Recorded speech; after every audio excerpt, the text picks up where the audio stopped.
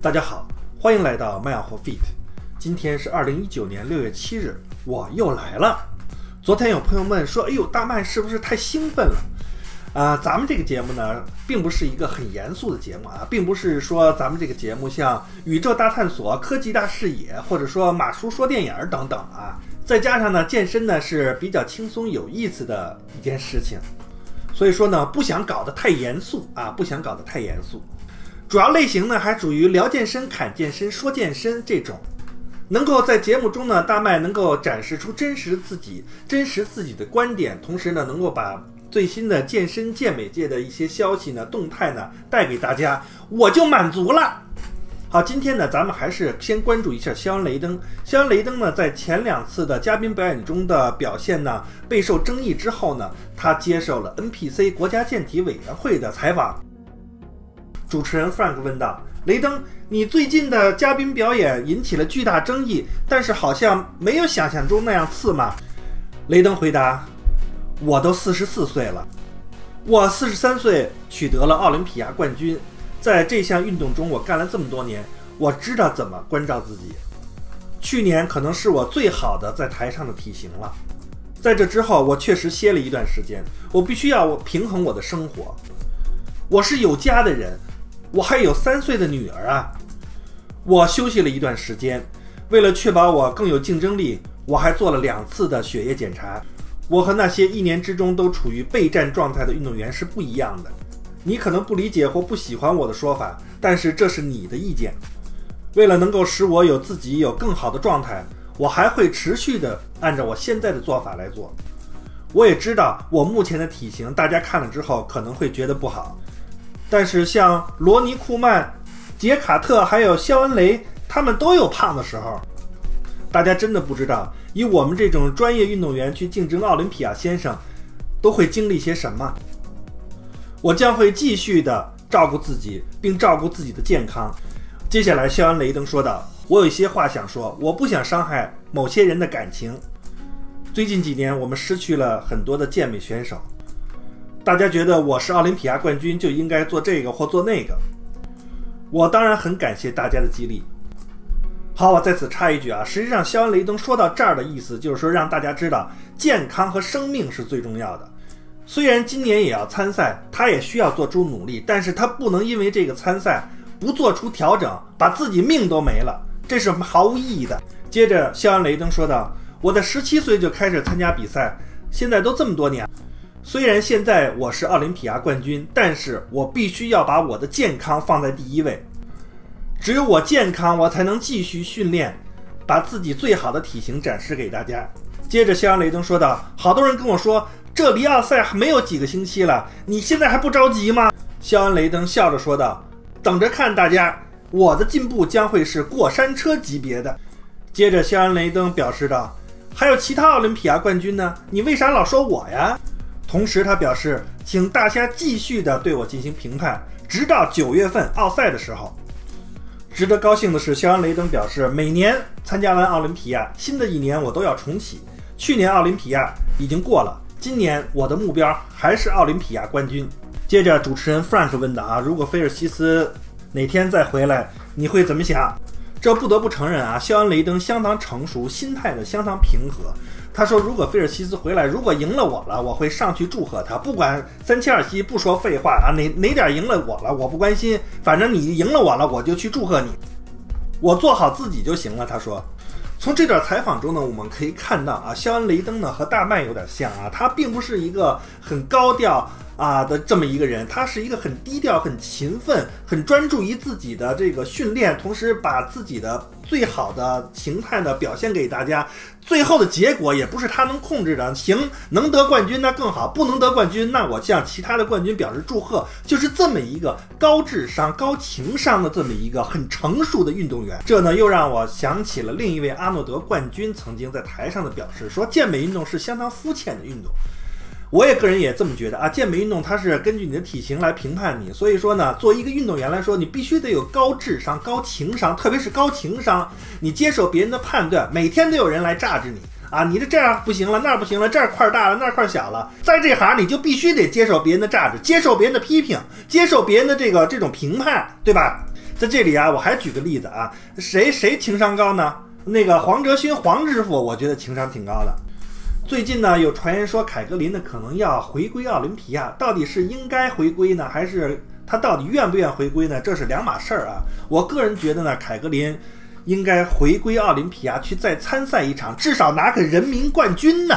好，在关注完两位健美大佬之后呢，咱们继续关注一下最近的比赛。在六月八号呢，在德克萨斯州呢有一个健美本地赛，那么来自日本的山岸秀匡呢将会参加。但是从这个名单上来说呢，Country 呢并没有写 Japan，而写的是来自拉斯维加斯。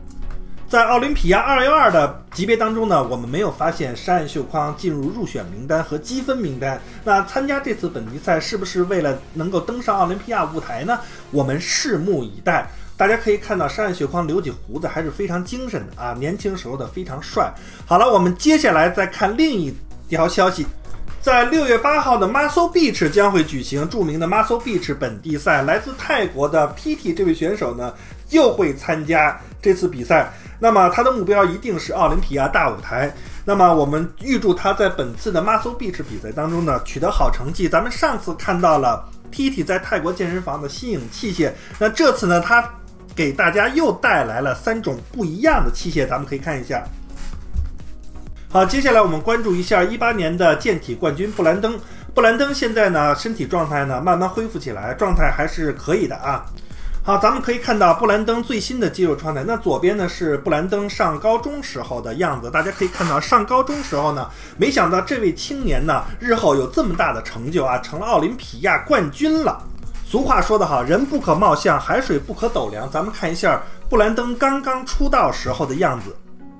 大家可以看到，确实呢，呃，能够看出确实比高中成熟一些，同时看出他的心路历程。好，接下来我们看一下布兰登最新的一组肩部训练动作。我们可以看到啊，他身上背着一个很粗的弹力带。那说起布兰登呢，布兰登刚刚进入了美国哑铃俱乐部所创办的这个健身健美名人堂。这个哑铃俱乐部呢，实际上是一个民间组织啊，它呢主要是。创立了一个哑铃俱乐部的名人堂，主要呢是每年呢给一些知名的健美健身的人士。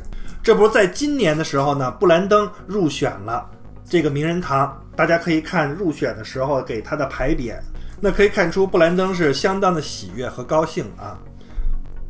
同时呢，著名的健美传奇啊弗兰克赞恩和黎巴嫩雄狮呢也到现场呢亲自表示祝贺。那么布兰登在今年的奥赛成绩如何呢？我们拭目以待。那么从布兰登的性格来说呢，他性格非常好啊，经常是乐乐的，亲和力很强。所以说呢，对于国际职业联盟这样的一个赛事来说呢，就喜欢这种亲和力强、有宣传能力强的这么一些些运动员。这就让我想起了另一位运动员，叫大杰瑞米。大杰瑞米平时看上去还是蛮凶的啊。那最近布兰登又发明了一个动作，就是蹲在地上搓手。我不知道这个动作来源于哪啊？大家有知道的可以留在屏幕下方。说着说着呢，咱们那个大杰瑞米就来了啊！哎呀，大杰瑞米看起来确实很凶啊。据他自己说呢，这张呢是因为很饿了啊，很饿了，两边的腮帮子都已经陷下去了。那大杰瑞米最近的训练呢也是相当的猛烈啊。其实我觉得大杰瑞米的肌肉状态呢还是。其实还是很强的啊。那既然奥赛有他的资格呢，他完全可以去选择参加奥赛。但是呢，去参不参赛呢，还是取决于他个人。我觉得他去参赛呢，应该前五应该问题不大吧。当然，作为四届奥林匹亚冠军，已经不满足于取得前五名了，去了就是冠军，不是冠军我不去。其实这种心态呢，说也对，但是说呢也不对。正是这种这个冠军的心态呢，让他高不成低不就啊。但是对于广大的健身爱好者来说呢，还是很乐于期待杰瑞米呢能够在台上再次展示他的英姿。说完大杰瑞米，咱们就说一说沉寂已久的小杰瑞米。小杰瑞米呢，在奥赛名单上呢，资格入选还有积分表上都没有他。那看来今年他可能不准备参加奥赛了啊。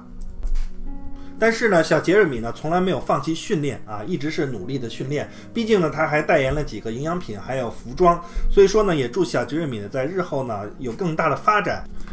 相比大杰瑞米和赛迪克这种成熟型的社交型运动员呢，小杰瑞米在平时自己的社交展示当中呢显得有些不太成熟。这点呢，他应该多学习一下大杰瑞米和赛迪克，多拍一些自己训练时候的视频，进行社交展示。好了，接下来我们看一下我们的可爱的史蒂文曹。史蒂文曹呢，是我喜欢的一位可爱、憨厚，同时有意思的一位运动员。他最近的训练也相当卖力，因为马上也要参加比赛了，所以我祝他呢在下一场比赛当中呢取得好成绩。大家从他的肌肉展示照片可以看到，他的二头和三角肌，还有他的脖子和胸肌都有很大提高。当然，他几个月之前也做过疝气手术了啊，所以说呢，他也没有后顾之忧了。好，接下来我们关注一下我们的微笑王子赛迪克。那么赛迪克，咱们大家知道，他最近呢盖了自己的新的家，同时呢在车库的自己组建了一个家庭健身房。而今天的视频片段呢，就是在他的家庭健身房拍摄的，而不是在健专业健身房啊，是家里家里拍摄的。大家可以看到，为了更好的进行训练，赛迪克把新家的车库改成了健身房。那么。整个的色调呢是白黑两色啊，中间呢可以停一部车，那么有哑铃、杠铃，还有一个深蹲架，还有一个有氧的骑车机，还有四个轮胎啊。那车库如果只能停一辆车的话，那另一辆车停哪儿呢？难道他们家只有一辆车吗？那他媳妇儿平时出去买菜开什么车呢？我又多虑了。好，接下来我们关注一下澳洲的小阿诺。澳洲小阿诺最近最大的变化就是把胡子给刮了，那说明他又回来了啊。好，希望他一切安好。接下来我们看一下从健体转到古典的弗洛根·弗兰克林。当看到这个视频的时候，我马上要用英文喊出来：“哇哦！”为什么呢？因为 Logan 弗兰克林的腿部相当古典。那么从这个角度看呢，他上身呢有些单薄啊。所以说，到底他转到古典之后有没有更大的发展，我们拭目以待。洛根·弗兰克林目前还在奥林匹亚的积分表当中的健体级别，目前排在第二十七位，积分是八分。他能否顺利参加奥赛呢？我们拭目以待。好了，最后我们看一下来自斯洛伐克的长脖小怪兽的肌肉展示。这次肌肉展示呢，又表明他又强大了。好了，今天的节目就到这里，大家不要忘记分享、关注和点赞。咱们慢活健身，下次再见。